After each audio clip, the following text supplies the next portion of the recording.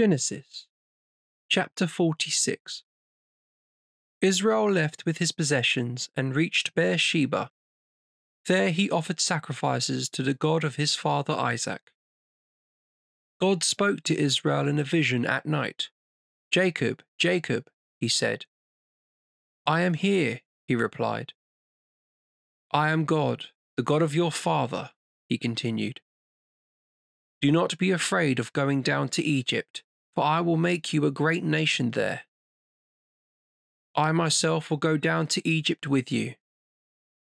I myself will bring you back again, and Joseph's hand shall close your eyes.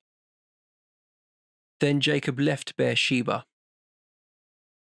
Israel's sons conveyed their father Jacob, their little children, and their wives in the wagons Pharaoh had sent to fetch him. Taking their livestock and all they had acquired in the land of Canaan, they went to Egypt, Jacob and all his family with him, his sons and his grandsons, his daughters and his granddaughters, in a word, all his children he took with him to Egypt.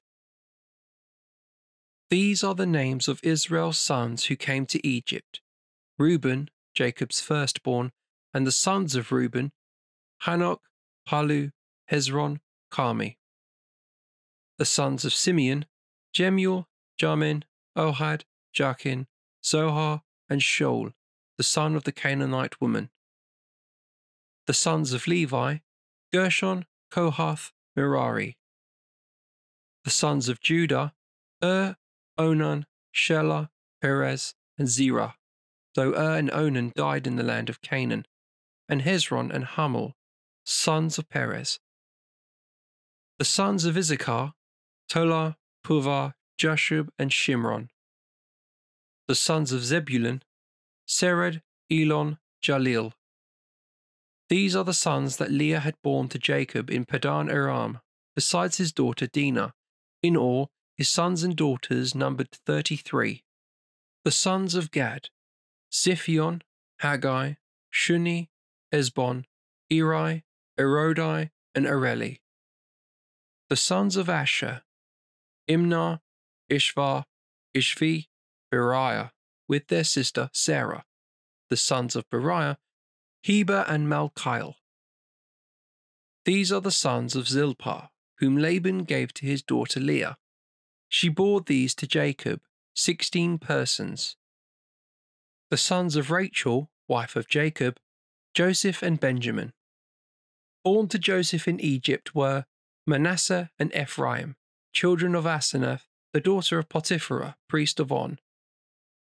The sons of Benjamin, Bela, Becher, Ashbel, Gerar, Naaman, Ahi, Rosh, Muppim, Huppim, and Ard. These are the sons that Rachel bore to Jacob, fourteen persons in all. These are the sons of Dan, Hushim. The sons of Naphtali, Jahzeel, Guni, Jezer, and Shillem. These are the sons of Bilhah, whom Laban gave to his daughter Rachel. She bore these to Jacob, seven persons in all.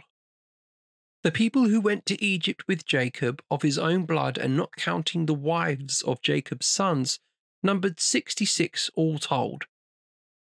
Joseph's sons born to him in Egypt were two in number. The members of the family of Jacob who went to Egypt totaled 70.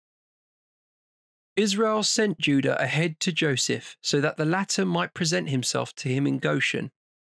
When they arrived in the land of Goshen, Joseph had his chariot made ready and went up to meet his father Israel in Goshen. As soon as he appeared, he threw his arms round his neck and for a long time wept on his shoulder. Israel said to Joseph, now I can die, now that I have seen you again and seen you still alive. Then Joseph said to his brothers and his father's family, I will go up and break the news to Pharaoh. I will tell him, My brothers and my father's family who are in the land of Canaan have come to me. The men are shepherds and look after livestock, and they have brought their livestock and cattle and all their possessions. Thus, when Pharaoh summons you and asks, What is your occupation? you are to say, Ever since our boyhood, your servants have looked after livestock, we and our fathers before us. And so you will be able to stay in the land of Goshen. For the Egyptians have a horror of all shepherds.